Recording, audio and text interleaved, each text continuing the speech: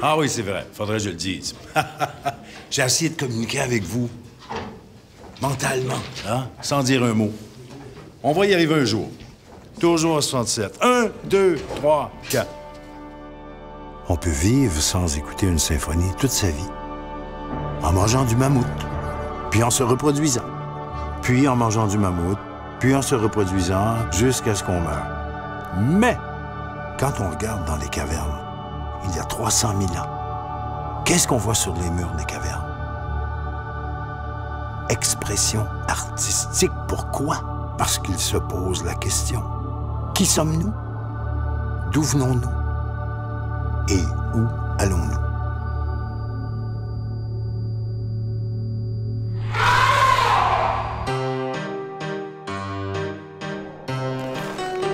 Je suis curieux.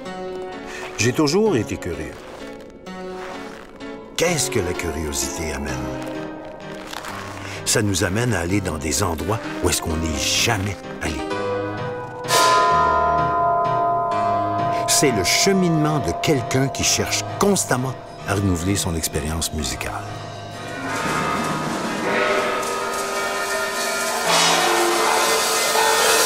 Good. Là, ça va être parfait. Hein?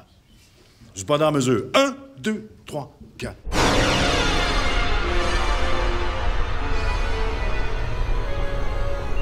Oui, je suis un artiste de l'avant-garde. J'ai dit. Je suis quelqu'un qui est à l'avant-garde, comme Christophe Colomb l'était, comme les astronautes. Je suis un des premiers qui va dans des régions musicales où peu de gens sont allés auparavant. Mais je suis pas un snob. Tu sais, come and join me.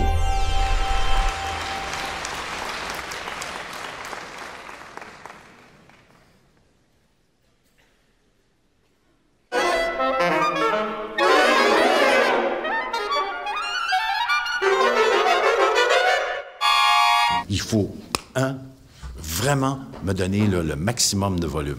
Là, on va jouer les vraies intensités maintenant.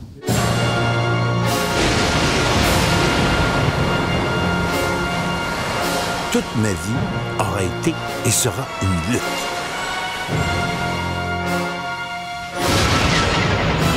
Envers et contre quoi?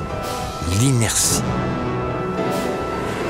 L'inertie, c'est que les choses sont comme elles sont. Elles ne doivent pas changer. Elles doivent rester exactement comme elles sont. Mais la nature de la vie dans l'univers, c'est de combattre ce principe d'inertie.